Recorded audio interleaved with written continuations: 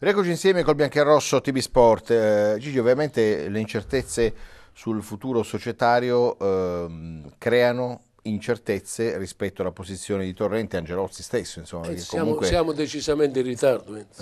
Siamo in ritardo perché poi alla fine, il momento in cui uno viene confermato Torrente, e mi auguro che la società, vista e considerata la, la, presenza, la presenza assidua... Questo è lo striscione che meritava uh, Torrente ed è bello che eh, anche il senso, comunque vada, grazie mister Torrente, comunque vada è importante. Enzo, considera apprezza... che noi abbiamo, abbiamo la pessima abitudine, io, io, io ti dico francamente, l'anno scorso ho attaccato qualche volta Torrente, lo dico, nella vita sbagliare è facile, riconosci i propri errori è un indice di saggezza. Non voglio, non voglio che, la, da, data la mia età, possa essere un vecchio saggio, però ti dico che effettivamente lui è, è stato bravo perché è riuscito ad, nonostante la penalizzazione, a valorizzare alcuni giocatori e nello stesso tempo si è praticamente sintonizzato sulla stessa lunghezza d'onda della tifoseria. Uh mhm. -huh. A differenza di altri tecnici che hanno parlato di Libidina Bari, sono andati a Torino e parlano ancora di Libidina. E mi riferisco a Venturi, ti posso assicurare, lo dico con una, con una tranquillità. Io mi auguro che il Torino, mi dispiace per il Torino, per la storia del Torino, possa retrocedere, perché Ventura è un presuntuoso. Uh -uh. C'è un amico in linea, pronto? Eh, ciao Enzo, Tonio di Barimani. Ciao Tonio, ciao. Saluto l'ospite. Grazie. Eh, Enzo, per quanto riguarda eh, Torrente, lui per due anni ha, fatto, ha dato tanto al Bari. Sì. Però c'è un piccolo neo che sì. io voglio essere spiegato, perché nel momento che il Bari stava andando verso i playoff, lui ha escluso i due giocatori più in forma del Bari, sia Sciaudone che eh, Fedato. Uh-huh. Questa è l'unica cosa che lui dovrebbe spiegare perché è una cosa inspiegabile.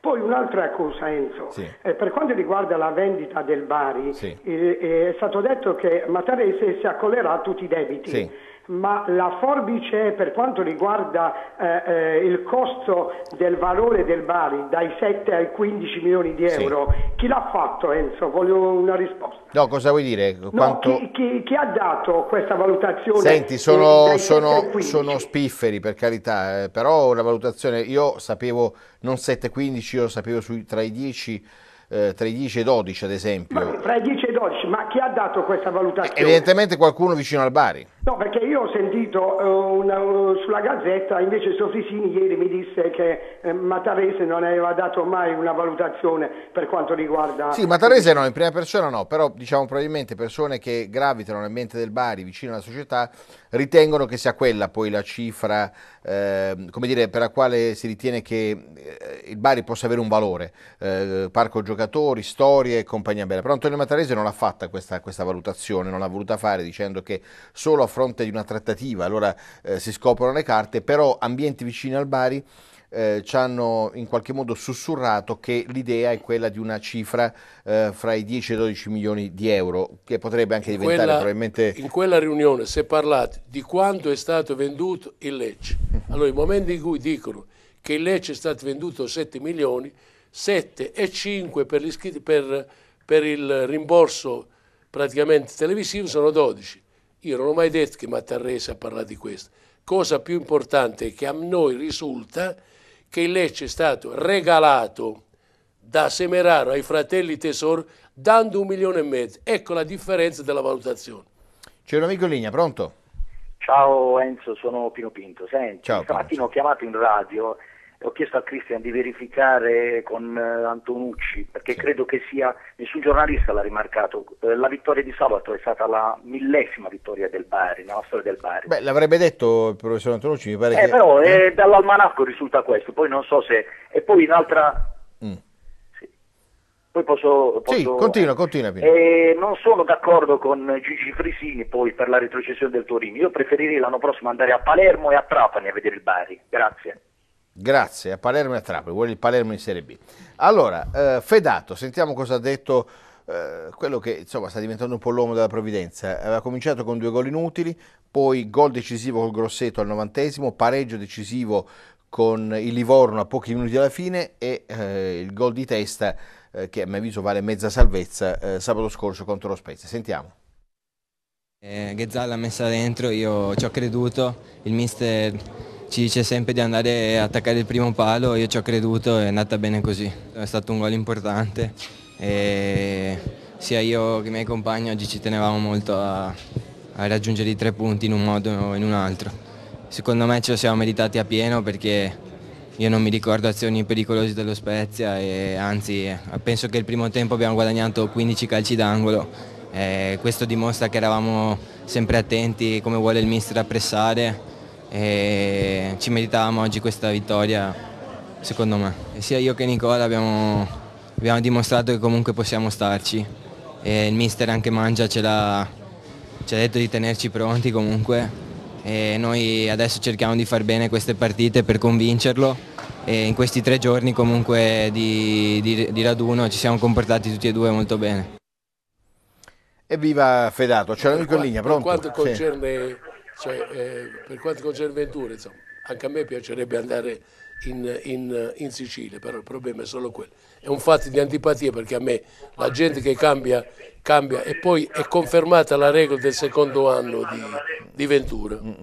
C'è un amico in linea, pronto? Ciao Enzo, sono Paolo, saluto il signor Presidente. Grazie. Ciao Paolo. Enzo, vorrei rimarcare una cosa, signor Antonio. Ogni volta che parla il signor Antonio della Sud, sarà un tifoso come noi, grandissimo. Mm. Addirittura dice che il Bari deve andare ai playoff, ci dà la colpa all'allenatore. Se io ero il torrente, le condizioni che c'è il Bari, ci avrei messo andato prima di cominciare il campionato. Grazie. Grazie, grazie, grazie.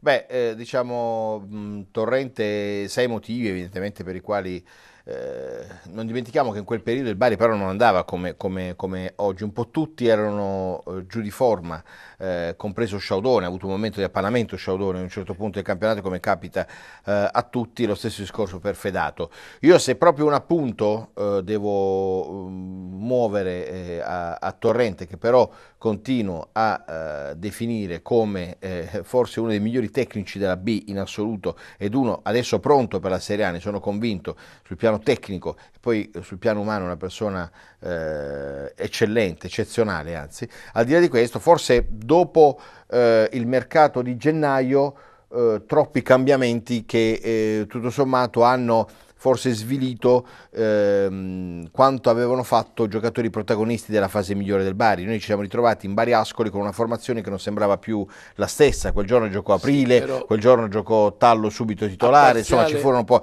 Però per carità parliamo di una cosa sulla quale poter almeno discutere rispetto a mille cose buone. Il mio giudizio di Torrente che è stato un allenatore da 9 in questo campionato è per me l'artefice principale, sarà l'artefice principale della salvezza eh, del Bari perché poi ha saputo come dire, riprendere una squadra che si stava perdendo. Lì se non sei forte nello spogliatoio, se non hai un rapporto speciale con i giocatori, affondi. La partita di Vicenza è stata una partita clamorosamente importante. Marzo, eh? il, il, cioè da, da, poteva diventare le, le Idi di marzo come c'è insomma ci ha salvato. Ha salvato. Però a parziale attenuante di, del, del calo di rendimento c'è da dire che quest'anno tutta la B non era preparata a quella lunga sosta. È chiaro, qualcuno può aver sbagliato, però c'è da dire che la squadra, dopo una breve parentesi, alla fine ha trovato la condizione al punto tale di recuperare i tre gol a, a Lanciano. E se non è una condizione fisica e una condizione mentale, quella partita non la recupera Anche con lo Spezia abbiamo visto un baritonico dal punto di vista atletico. C'è un'altra telefonata, prendiamola, sì. prendiamo in pubblicità. Pronto? Ciao Enzo. Ciao, ciao. Nicola, saluta ciao. Gigi. Grazie. Enzo, io spero che, che ne dica, scusami se lo dico, dottor Antonucci, che spero che Torrento vada via. Io spero, spero che Torrento rimanga. no, lui spera che vada so via perché gli vuole bene, dice... vuole che faccia carriera. Eh, lo so, però insomma non è che stiamo giocando a Casarano qua, cioè, certo. questo è il Bari comunque, comunque da, darà una chance enorme per Torrente, dà una, una, come posso dire, eh, una cassa sonora molto importante per lui. Sì, ma lo, lo devi so, accontentare. Io spero, chiedo scusa, spero che gli imprenditori non stiano aspettando il fallimento, uh-huh. perché questo davvero sarebbe una bruttissima cosa, uh-huh. se gli imprenditori stanno aspettando il fallimento per buttarsi sopra il Bari, certo. o adesso o, no, o, o non dopo, o, mai più, o adesso o mai più infatti. Grazie Nicola per il tuo intervento, pausa pubblicitaria, poi di nuovo insieme col Bianco e Rosso di Sport.